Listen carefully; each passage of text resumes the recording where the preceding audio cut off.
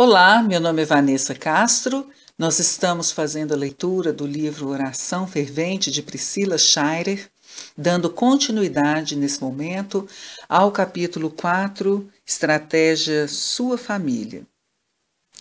Casamento significa a criação de unidade entre duas pessoas que antes eram separadas em todos os sentidos até o amor chegar e alcançá-las.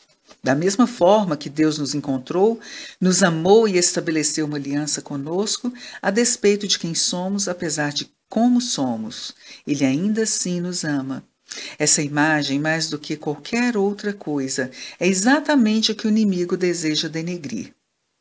Quando a Escritura aconselha os maridos a amarem e a liderarem as suas esposas, até mesmo quando aconselha nós, esposas, a submetermos aos nossos maridos, a motivação final para essas nobres instruções não é apenas para uma melhor convivência nos fins de semana, mas para que as nossas casas reflitam na terra a ordem do relacionamento de Deus para conosco.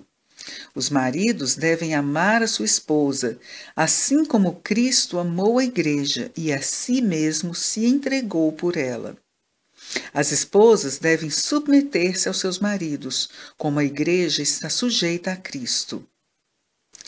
Só confirmando, isso é uma grande coisa. Desde o princípio, trata-se de algo muito maior do que pensamos. Então, quando você e eu começarmos a sentir a pressão, a tensão, a fragmentação e os conflitos em casa, quando coisas pequenas, insignificantes começarem a se juntar para se tornar um grande problema, a busca por defeitos para trivialidade que acabam por se transformar em discussões intolerantes, provocando amargura no relacionamento, levando ao isolamento e ao silêncio, isso quer dizer que o seu marido é horrível?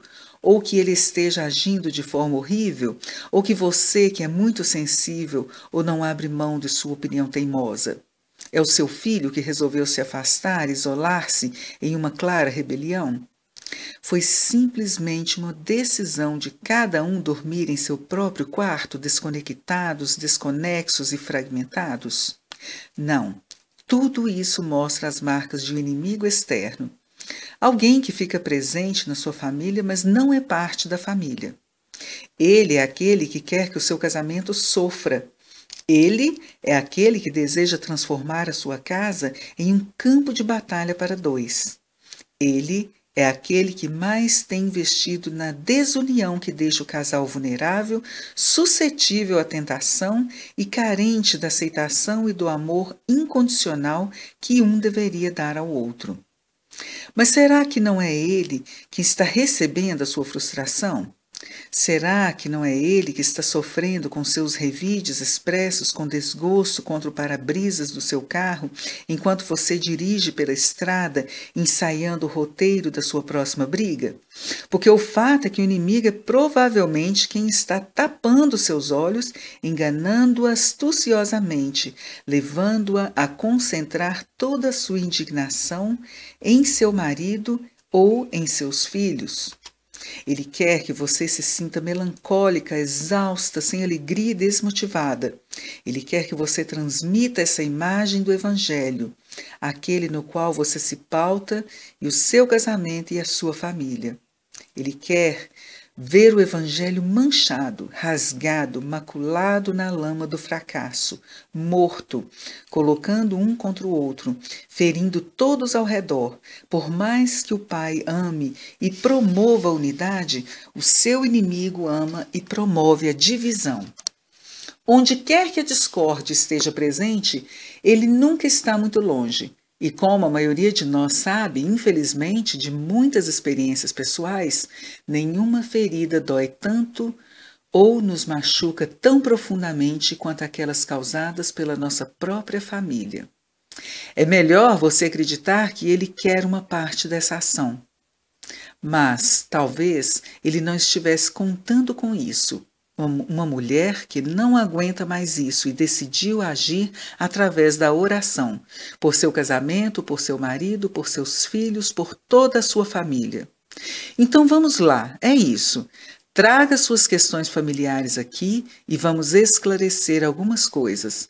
Vamos ser específicas. Vamos colocar uma venda no olho do boi, que é a verdadeira fonte de contenda e desconforto e necessidades não atendidas em sua família. Vamos mostrar ao inimigo o tipo de resistência que uma dose constante de oração é capaz de exercer contra os seus planos de demolição. É o seu casamento? Então pare de tentar ser o Espírito Santo em seu relacionamento, responsável por tocar e convencer o seu esposo até que ele finalmente veja as coisas da forma como você as vê. Eu vou admitir que passei alguns dos primeiros anos do meu casamento convencida de que meu principal dom espiritual era transformar o Jerry. Em nome de Jesus, Levei quase duas décadas para começar a perceber que eu estava errada. Mudar o Jerry, como se vê, não é o meu dom espiritual. Em nenhum lugar em 1 Coríntios 12 ou em qualquer outro lugar na Escritura onde os dons divinos do Espírito de Deus estão listados, aparece: melhorai os vossos maridos. Nem mesmo em uma nota de rodapé. E se nós não soubéssemos disso, pela óbvia ausência no catálogo dos dons espirituais, já não teríamos nos dado conta, por experiências exaustivas, de que o Espírito Santo sozinho pode fazer um trabalho muito melhor do que jamais conseguiríamos. Não, o nosso trabalho, o meu trabalho, o seu trabalho, não é mudar esse homem, mas respeitá-lo e em seguida deixar o Senhor fazer o resto. Quando você faz isso, você não está deixando o seu marido fora da responsabilidade, de jeito algum. Você está apenas entregando a Deus. Você também está a caminho de descobrir algo a mais. Provavelmente ele não é o único que precisa sofrer alguma mudança. Na verdade, ele provavelmente não é o que precisa, na minha casa pelo menos, da maior mudança. Quanto mais você orar pelo seu marido, mais o Espírito Santo vai chamar atenção para os lugares em seu próprio coração que precisam ser trabalhados também. A única forma eficaz de lutar em favor do seu casamento é orar. A maneira de ver a verdade por trás de tudo que está acontecendo em toda esta situação é orar. A maneira de colocar as rodas emperradas ou que se desprenderam em movimento novamente é orar. A oração é a forma de isolar os verdadeiros problemas, e oração é como nós nos levantamos por trás desses problemas para atacá-los nas raízes. É assim que isolamos o verdadeiro inimigo.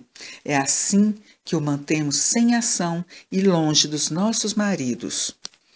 E a oração é também a forma como Deus chega até nós, mesmo enquanto estamos orando por nossos maridos, convencendo-nos de que talvez o que o nosso marido mais precisa agora é que a sua esposa seja um lugar confortável e seguro para ele pousar, e não uma fonte de discórdia espinhosa e irritante que apenas o agita e piora as coisas. Assim, mesmo que as coisas estejam indo muito bem para você, mesmo que você não tenha muito para queixar-se ou chatear-se, o inimigo ainda está em modo total de ataque ou à espreita na espera da próxima oportunidade para se infiltrar. Então ore e ore ferventemente. São os seus filhos? A Bíblia diz que os nossos filhos são como flechas nas mãos do guerreiro. Isso está escrito em Salmo 127, versículo 4. Nós os criamos para jogá-los na nossa cultura, como a imagem de Cristo neles refletida para testemunho ao mundo. Parece novamente com um alvo qualificado para um inimigo que não quer qualquer vestígio de valor e virtude cristãos correndo solto por aí. Quem sabe eles possam assumir posições corajosas de fé e influenciar as suas faculdades e seus amigos. Podem pastorear uma igreja ou administrar um negócio ou envolver-se em missões e oportunidades de ministérios que honram a Cristo e ativamente servem centenas de pessoas. E o pior de tudo, eles podem se casar e constituir toda uma outra geração de pequenos seguidores de Cristo, mantendo sua família vibrante e ardente contra o inimigo muito depois de você deixar essa sua vida, constituindo um legado de fé audacioso para o futuro. O seu inimigo não consegue suportar nada disso, consegue? Portanto, não se surpreenda quando ele começar a jogar seus filhos. E não pense que isso é porque eles estão sendo teimosos ou dependentes de outros, ou negligentes ou preguiçosos. Satanás conhece parte do caráter deles, tanto os seus pontos fortes quanto os fracos onde ele pode se infiltrar e tentar impedir o seu crescimento, seu potencial e sua confiança. Um dos meus filhos, por exemplo, sempre foi propenso ao medo e ansiedade. Desde pequeno, ele demonstra uma tendência perceptível a esse tipo de resposta emocional a estímulos externos. Sabendo disso, avistando isso, eu passei a ser muito específica ao orar por ele em voz alta sobre ele, mesmo quando ele era apenas um bebê. Eu rotineiramente peço ao Espírito Santo para dar-lhe coragem e para ser um muro de proteção contra as tentativas do inimigo de explorar o meu filho nessa área sensível. Três ou quatro anos atrás, noite após noite, ele começou a ver algo que descrevia como um homem em seu quarto.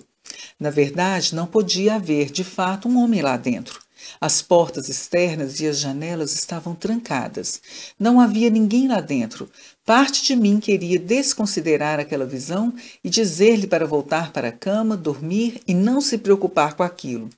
Mas ele era capaz de me descrever com uma impressionante riqueza de detalhes a aparência do homem, onde ele aparecia próximo à sua cama e o quão paralisado ele se sentia quando percebia a presença do homem no quarto.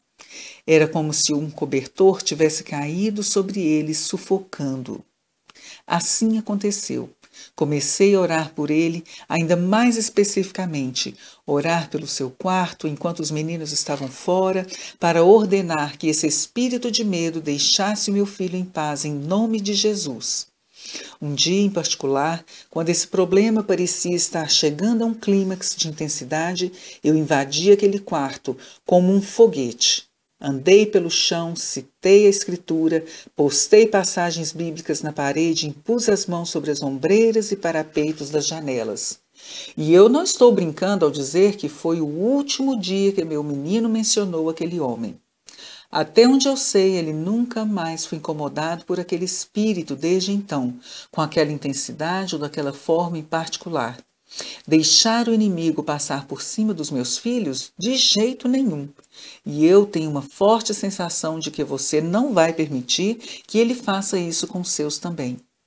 O inimigo está atrás dos seus filhos. Eu lhe digo, acredite, saiba disso, mas o mais importante é lidar com ele, colocando-se em profunda oração em seu quarto e combatendo com as armas espirituais como você, mãe, tem à sua disposição. No próximo áudio, nós vamos falar como o inimigo ataca outros membros de sua família. Eu espero você. Até amanhã. Fica com Deus.